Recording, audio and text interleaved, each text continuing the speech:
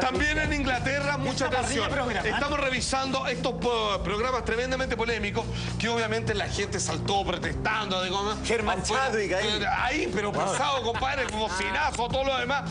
Esto se llama, no lo van a creer, Guía a Guantánamo. ¿Cómo? ¿En qué consiste? En que tú te ofreces, por ejemplo, Gonzalo se ofrece Juan José, digamos, se ofrece, digamos, la Me María José, esta, ¿eh? Y le aventura. quiero, es algo así, pero terrible, porque te van a pasar por los mismos procesos de tortura que a un prisionero en la cárcel de Guantánamo. Guantánamo. Entonces tiene que ver una proeza de resistencia de Y parte de él. reconocimiento al maltrato. Absolutamente, pero es como que alguien que ¿Pero dónde quiere vivir la experiencia. En un estudio, recrean la No, cárcel. ¿dónde, dónde? ¿En qué lugar? Inglaterra. Inglaterra. Pero ¿y las personas que se someten a esto, de qué manera, lo- por qué lo hacen? Claro, eso. No ganan nada, solamente lo hacen por la experiencia y porque creen que vale la pena. Anda a saber tú que ahí se les coló un grupo de sadomasoquistas. Pero porque en quieren donde ser para-. Y acá se escandalizan por cierto. Algunos, ponte tú, que eso. muy buena pregunta, algunos que puede que se haga famoso, no. Pero el caso es que las torturas son reales, vale decir. Una cosa leve es que, por ejemplo, estás durmiendo y a las 4 de la mañana te levantan, digamos, con un balde de agua, agua muy fría, fría. claro. Ok, pero cuando te pasan, te empelotan, te empiezan a tirar unos perros para Los que perros, te muerdan, claro. digamos, o te hacen caminar en cuclilla completamente desnudo, digamos, mientras te agarran hasta un callejón oscuro con palos. Como pelotón, créeme, pero en una versión... Absolutamente. Extrema. Te pasan corriente, obviamente, como los sistemas de tortura que hubo acá, obviamente, en- durante la dictadura de Pinochet, también se les dan descargas, no del máximo voltaje, Bueno, pero claramente para que él quede pidiendo que no quiere seguir participando, pero una vez que te inscribía, ya no podías salir. O sea, yo tenía los permisos de cobrarte mucha plata. Pero de alguna manera, llevaba. perdona, aquí en Chile igual es parecido un poco. O sea, ahora hay un programa en que obligan a los famosos a tirarse de 10 metros y eso igual no es tanto como esto, pero igual es peligroso. Pero están Pero entrenando, hay una se están tirando una Pero piscina, acá están en un campo de Y en concentración. el otro, en el otro programa que también ponen corriendo. que él ve las imágenes Es te que paran para los pelos. entenderlo, esto es tortura televisada. Claro. O sea, a ver, cuando hay toda una serie, digamos, de derechos, digamos, que se exigen, de amnistía, que hay cosas que debieran erradicarse, obviamente, en la sociedad humana, finalmente estos tipos deciden hacer un programa de televisión cuyos contenidos son precisamente el hecho de que ¿Dónde están las te muestra el espectáculo de torturar a alguien. Porque Estas increíble que haya gente que se preste para eso. humanos que en este momento, porque me imagino que paralelamente detrás de esto, cuando alguien ve violentada esta, esta forma de hacer televisión... reventaron el tiene- programa. Claro, tiene que ir directamente a tribunales. Ahora, es ahora con lo divertido, que mientras, digamos, están los reclamos, digamos, las protestas por todas estas cosas, finalmente en los programas sigue saliendo al aire y finalmente tiene una gran y tremenda sintonía. Ahora, el que yo lo encuentro hardcore, los maestros, los reyes de la televisión extrema son los holandeses, donde todo es cancha, todo Ahí vale. los reality. y todo lo demás. Ahí los reality, gran hermano, sin ir más lejos. John Endemol. Bueno, este programa también fue la batalla, que se llama Conejillo de Indias. Ah, me gustó. En donde cualquier persona que es invitada lo someten, digamos, a hacer algo claramente que rebasa los límites, digamos, de cierta estructura moral. En este caso, invitan a Como una Simone hoy persona. día, por ejemplo, que nosotros la sometiéramos Eh, exacto. a algo. A vejámenes. No te preocupes. Pero algo se como viene, que... Ya te vamos a a hacer a nada. Simone. Se viene, se Relájate eso. Ah. viene. Se viene, se bañó, ya está todo listo. Está lista, lista No han dado premios, Simone, así que relájate. Bueno, le vamos a poner una manzana, Relájate, la lo que Dios quiera. Bueno, atención, ¿qué es lo que pasa con este programa? Este colegio de India, que esto es donde personas tienen que comer carne humana. Ah, se lo mostraste. Pero tremendo, Ah, absolutamente. ¿Y esto es un ¿Qué- reality show? esto- no, no es un reality, se hace, digamos, eh, para cada capítulo, para la ocasión. Bueno, son dos personas. Uno, Utilísima. ambos se meten en un quirófano y le sacan parte del cuerpo, del gul, del glúteo, del El glúteo, de las piernas. Sí. Después estas personas, obviamente, le cierran la herida, No, lo sientan y el pedazo que te sacaron a ti, Simón, me lo pasan a mí y el mío a ti y dicen ya. Y viene un chef y lo prepara. Mira, están sacando pedazos de carne ¿Qué humana. más morboso nos estáis Son jercos. Esto es conejillo de India, Lo encuentro espantoso. exactamente. Y donde van a comer carne humana de las dos personas que son convocadas en la mesa. Oye, y ahí obviamente mantel largo y todo lo demás.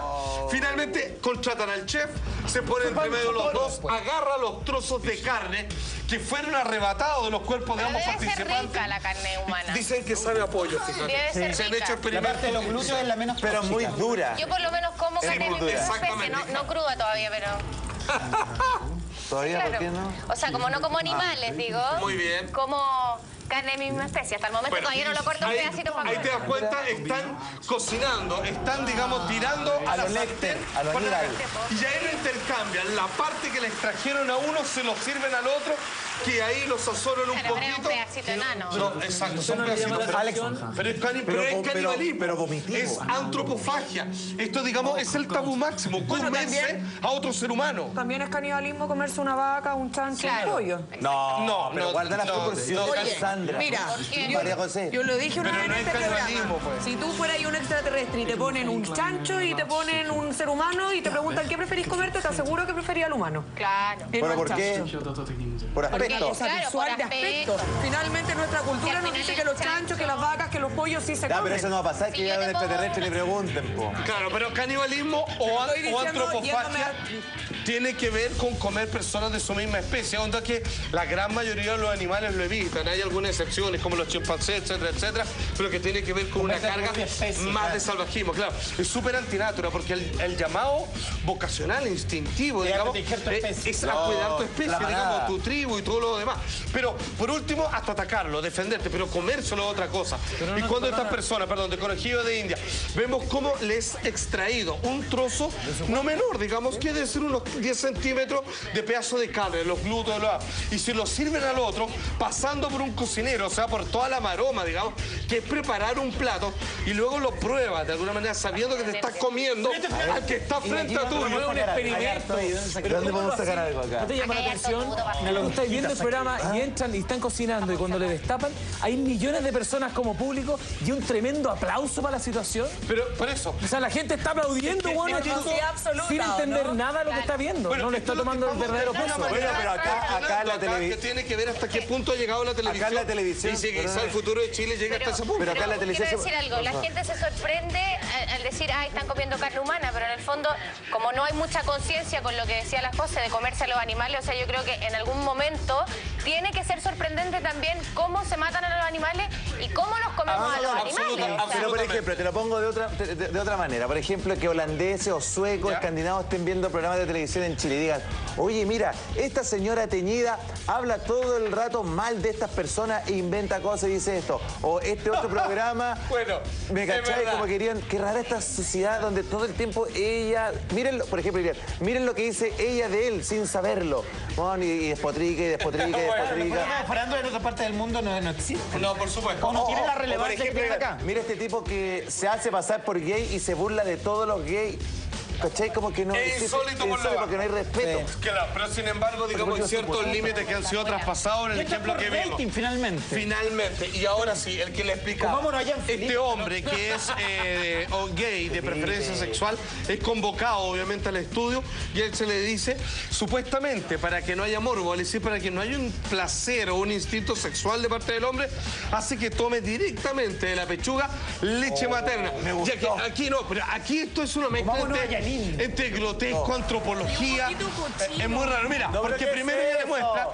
con estas, obviamente, para extraer el leche de esta mujer en Holanda, obviamente. Warner. Y este hombre que lo presentan, obviamente, es gay y que precisamente no va a tener ningún eh, tipo, Pero espérate, eh, este digamos, de, de intención sexual, bebe de una problema como pechuga ese. y luego de la otra. Pero este es un problema como de salud, ¿no? ¿No? ¿Qué? de salud. Oye, es como pero te es un puedo problema de preguntar algo? conversación. Show. Exacto. Ese hombre ya, él es supuestamente gay y no tiene ni un instinto sexual. Pero un hombre heterosexual, ¿tú crees que tendría un instinto con una mujer Mira, que está amamantando? No, en esa imagen no. y en esas pero- condiciones, Pero o sea, hay porque... hay algún Hay gente tipo- que sí. Hay gente que tergiversando busca todo. eh, mujeres que están, eh, digamos, en, en etapa de lactancia, o sea, Pero no me de que cae la están menor dando duda. leche. Pero eso llevarlo a la televisión es transgredir Eh, todo claro, lo natural. eh, Es que está increíble. Hay cosas que solamente debieran estar guardadas dentro de su contexto. Por supuesto. Es que claro, una madre amamantando un bebé, digamos, no tiene ningún problema y algo precioso, inspirador. Pero obviamente sacándolo ya de, uno, de su condición de contexto y dándole leche a un hombre adulto eh, y, y finalmente para probarla por el hecho de un hacer recuerdo la de alimentación. Y porque o sea, se transgreden muchas cosas. Finalmente la idea es escandalizar y por eso crear audiencia. Pero pero, ¿cuál es el escándalo en esto? Que a él, eh, eh, perdón la expresión, pero que a él no se le pare. Eso es como... No, Es que no lo lleves por ese la lado. selección. No. Mira, yo puedo extremar el argumento Sí. con las personas, con los uruguayos que Está lamentablemente gusto. en algún momento cuando cayeron en la cordillera se tuvieron que ver enfrentados a una cosa de necesidad de supervivencia, necesidad extrema. comerse a las personas que estaban al lado suyo, que eran sus compañeros, y cortarlos.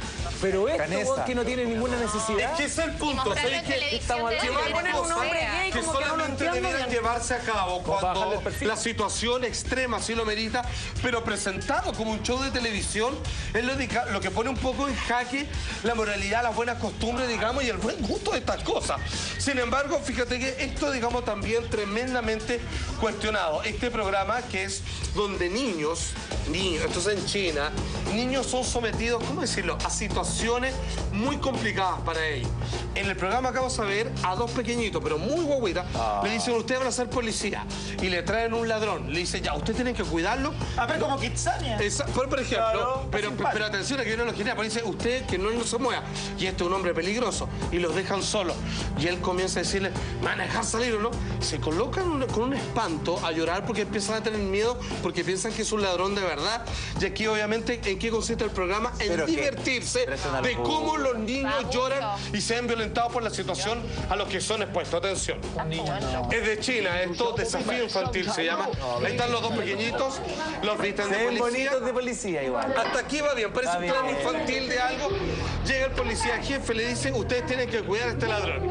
Y parece muy caricaturesco y todo lo demás, pero ahí comienzan a preocuparse Miren porque, como el lo- amor. porque los dejan con una pega que claramente no están capacitados para hacerlo. Mira, Pero cuando... una persona grande. Exacto, un adulto que podría obviamente tomarlo. trauma Y, y le empiezan a pedir, por favor, que no se vaya, porque si no los van a retar. Y después le empiezan a pedir ya con lágrimas en los ojos, por favor, porque no los mate. Porque consideran que como es un ladrón de verdad, y ellos se crean el cuento de que los puede atacar. Y mira, y los muestran con esta figura icónica como globo anatopédico, ¿Cuál- cuál será el fin que la este niña está llorando. ¿Hacer reír a los chinos? es hacerte reír por el extremo de la situación. Mira, y le ponen risas de fondo. Y le ponen risas de fondo como que fuera algo muy gracioso que está Atención, porque la pasando. niñita realmente la está pasando Le- mal. yo creo que le genera Está un trauma a un sufriendo. niño. ¿Cuánto tiene que tener? ¿Cinco años esa niñita? ¿Cuánto te demoras tú, Salfate, perdona, cuando tus hijos eran chicos en que estaban llorando y llegar a donde estaban ellos? ¿Cuánto te demoraba? Nah, un segundo. Imagínate esta mamá que está en el estudio de la cámara mirando que el chico está llorando, Juan. Exacto, entonces obviamente el otro trata de consolarlo y le dicen que era su arma, era este sartén. Entonces lo que ellos están preocupados dos cosas. Una es que lo reten porque se les escape y lo otro es que ya pena. convencido de que que no les vaya a hacer algo no los vaya a Es atacar. que los asiáticos son duros con los niños, ¿no? Tremendamente, sí. De hecho, es uno de los pocos cines, muy bien, Gonzalo, que permite mostrar en cámara muerte de niños. Sí, cosa que en Occidente está absolutamente prohibido. Este es un, un literal abuso. Esto es Porque, o abuso. sea, ver sufrir una niñita O sea, estáis, condicion- estáis condicionando un trauma, estáis obviamente eh, vocacionando claramente una sensación de miedo y inestabilidad frente a los adultos, además. Estos niños, de, obviamente, Pero digamos, quedan súper vulnerados. Además que el niño está creyendo de la base, de, de- de lo más puro de él, que la- lo que le está diciendo la persona grande es real. Claro. Entonces él está asumiendo en sus propios valores de inicio, lo que está cimentando, en que eso tiene que llevarlo a cabo de la mejor manera. Por eso la niñita le dice, no lo haga mal porque yo quiero ser una buena Y ciudadana. cuando no le empieza a hacer caso, empieza a tener miedo de que no lo vaya a violentar a ellos. El caso es que uno puede decir, otras culturas, otros tipos de público, infantil eh, el nivel de extremo No de rating que necesitan conseguir es videos. completamente No, diferente. Pero aquí lo que estamos viendo hoy día es a los niveles de extremo que ha llegado la televisión en otros países y como hemos visto históricamente, lo que acabamos de ver hoy, probablemente Chile en algún momento se va a permitir hacerlo. Ojalá que no lleguemos a un nivel. Pero el consejo no. Muy